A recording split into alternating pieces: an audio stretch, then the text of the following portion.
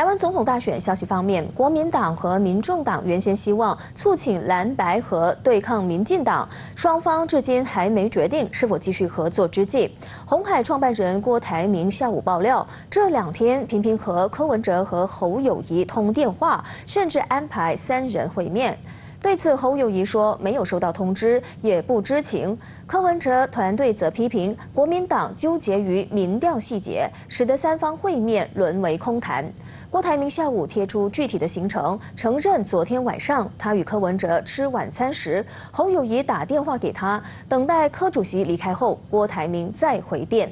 侯友谊希望郭台铭负责约三人今天见面，促成蓝白郭三方合作，并表明绝对不会有其他人参与。但最终三人见面基于各种原因却难产了。后来郭台铭交由民众党来安排时间地点，希望在今晚促成三人会面。不过，敢闻南部宣传造势的侯友谊说，没有收到通知，目前没有特别安排会晤任何人。